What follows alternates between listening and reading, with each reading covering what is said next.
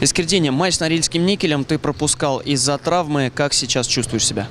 Ну, честно говоря, э, расстроен я, что не играл, потому что всегда мне хочется помогать своей команде. Те три очка, которые мы могли взять в игре против Норильска, были очень важны для нас. Было очень грустно смотреть, наблюдать это все с трибуны.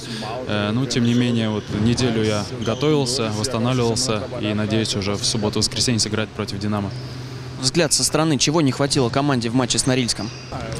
Ну, честно говоря, давно я не помню, чтобы мы сыграли так плохо, как получилось в тот раз. Э, смотрел все это сверху, с трибун.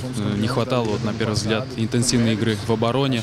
Также я думаю, что если бы мы смогли сразу повести в счете, может быть, э, результат был бы другой, игра когда сложилась иначе. Тем не менее, э, мы, я думаю, сделаем вывод из, из, из этой игры, как бы из, научимся на наших ошибках вот, и будем продолжать работать дальше и стремиться к победам.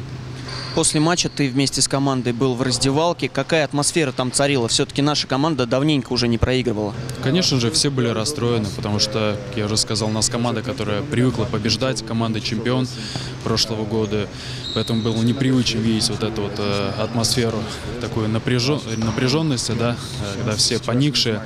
Но тем не менее, это, еще раз хочу сказать, должно послужить уроком. Не надо зацикливаться на поражениях, надо смотреть э, вперед и надеяться на лучшее.